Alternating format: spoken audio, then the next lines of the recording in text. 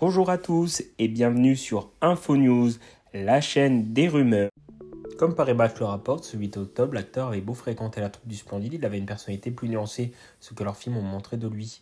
Dans une interview accordée, ma marginalité cérébrale, je suis vie comme un bourgeois, d'écouter du Mozart et sifflant des tasses de thé.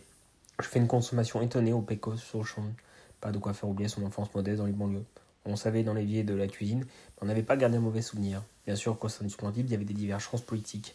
Et il expliquait Thierry Lamiette et Christian faisaient partie des jeunesses communistes. Ils n'ont même pas à m'entraîner. Hormis Josie qui a essayé d'être engagé à gauche, il me semble compliqué pour essayer de nous mettre dans un groupe précis. Merci à tous d'avoir aidé la vidéo.